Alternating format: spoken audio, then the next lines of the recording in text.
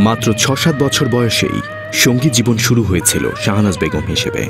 আজ তিনি উপমহাদেশের কিংবদন্তি শিল্পী শাহনাজ রহমতুল্লাহ। জন্ম উনিশশো তিপ্পান্ন সালের দুই জানুয়ারি, ঢাকার পুরানা পল্টনে ছোটবেলায় খেলাঘরে যেতে যেতেই গানের শুরু।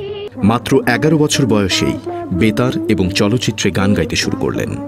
ছবির গানে আমি ওই নয়, দশ বছর বয়সে আমি প্লেব্যাক করেছি, প্রথম ছবি আমার যেটা। ছবিটা তানহা ছবির নাম, প্রথম যে আমি এসেছি, তানহা ছবিতে আমি একটা হিরোইনের গান করেছিলাম। তার সেকেন্ড তার আগেই বোধহয় আমি করেছিলাম দাদা রবিন ঘোষ, ওনার ছবি নতুন সুরে বাচ্চাদের গান করেছিলাম আর কি। এদেশে টেলিভিশনের যাত্রালগ্ন থেকেই তার গাওয়া গান দর্শকপ্রিয় হতে থাকে। সংগীত জীবনের শুরুতে তালিম নিয়েছেন ওস্তাদ মুনির হোসেন এবং ওস্তাদ ফুল মোহাম্মদের কাছে। তবে চলচ্চিত্র প্লেব্যাকে তার শিক্ষাগুরু শহীদ আলতাফ মাহমুদ এবং খান আতাউর রহমান। গজলে দক্ষতা বাড়াতে বিখ্যাত সঙ্গীতজ্ঞ মেহেদি হাসান এবং সোহেল রানার কাছে তালিম নেন।